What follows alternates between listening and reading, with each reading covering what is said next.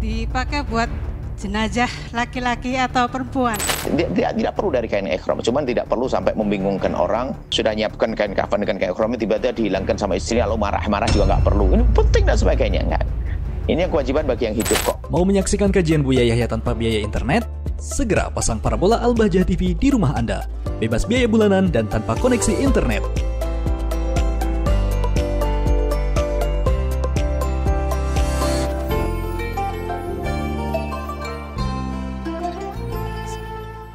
Assalamualaikum warahmatullahi wabarakatuh. Allahumma sholli ala. Sayyidina Muhammad wa ala Sayyidina Muhammad. Eh, begini Bu ya, kalau kain ikhram boleh nggak buat dipakai buat mayit perempuan atau laki-laki? Assalamualaikum warahmatullahi wabarakatuh. Waalaikumsalam warahmatullahi wabarakatuh.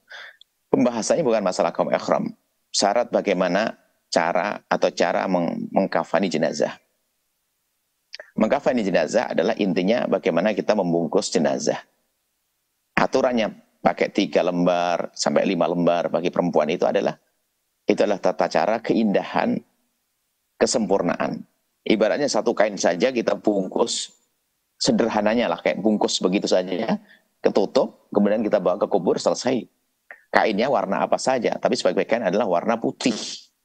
Diajarkan Nabi, fakifun biha mautakum. Nabi mengajarkan hendaknya kau kafani dengan dengan yang putih tadi. Seperti itu. Kafani. Mengkafani kain putih. Ya. Kemudian kemudian kain kaf ah, kain kafan, kain ikhram boleh. Boleh. Nah, dijadikan kain, kain kafan boleh Apalagi ada sebagian tidak, tidak perlu dari kain ikhram, cuman tidak perlu sampai membingungkan orang.